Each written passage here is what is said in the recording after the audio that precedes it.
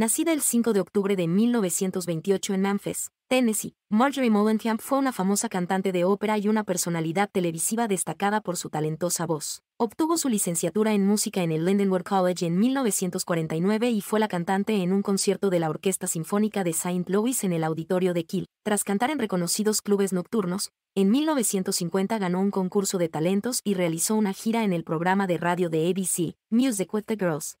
Más tarde fue la conductora del programa de televisión El Show Panamericano en Puerto Rico, realizó una gira por América del Sur y lanzó un álbum en México. En 1952 se casó con Robert Finlay, presidente de la Bayman Construction Company, con quien tuvo a su hija Andrea Gardner, quien años más tarde sería la madre de la conocida cantante Taylor Swift, quien le dedicó en 2020 una canción, ya que fue la inspiración para seguir su carrera en la industria musical. Desafortunadamente, Marjorie Finley murió en 2003 en Pensilvania cuando su nieta tenía solo 13 años.